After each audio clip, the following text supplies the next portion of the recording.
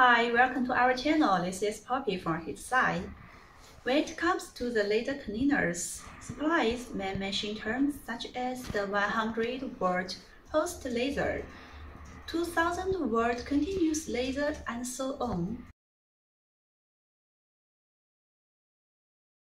So the question is, what's the difference between the pulsed laser cleaner machine and the continuous laser cleaner machine? How to choose?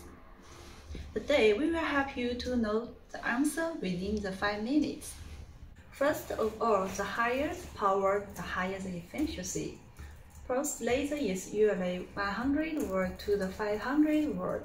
Continuous laser is usually 1000 watt to 2000 watt.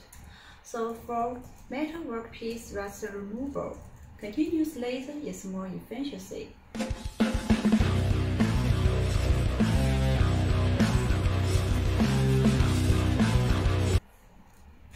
However, too much power can lead to the overheating, which can seriously damage the surface of the product.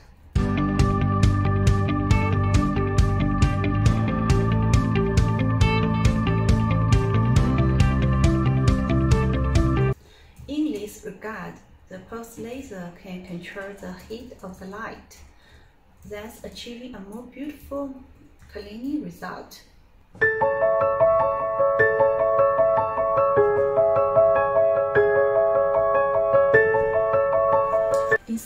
Continuous laser is a good choice for large metal parts rust remove.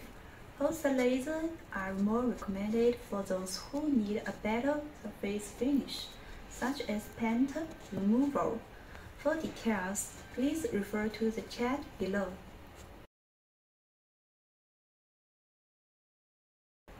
If you are considering purchasing a laser cleaning machine, please feel free to contact us.